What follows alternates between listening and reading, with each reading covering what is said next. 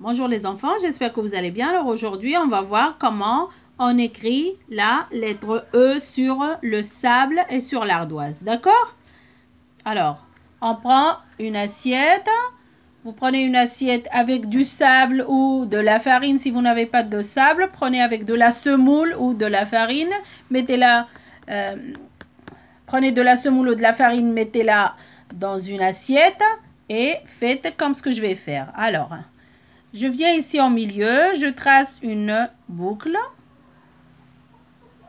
je tourne et je descends comme ça. D'accord? Alors, on va le refaire. Je viens ici au milieu, je trace une boucle, je descends et je tourne. D'accord? C'est ça la lettre E. On va refaire encore une fois. Je viens ici, je trace une boucle, je descends et je tourne.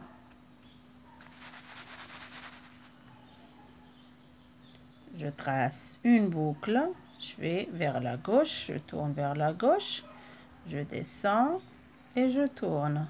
C'est ça la lettre E. D'accord les enfants? Maintenant, on va le faire sur l'ardoise.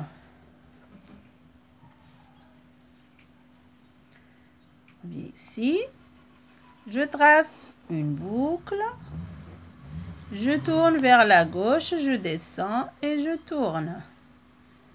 C'est ça la lettre E. Je vais refaire. ici, je trace une boucle vers la gauche, je vais vers la gauche, je descends et je tourne. C'est très très facile. D'accord?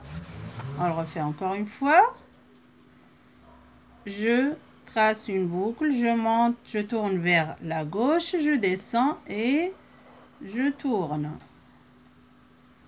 Bravo les enfants.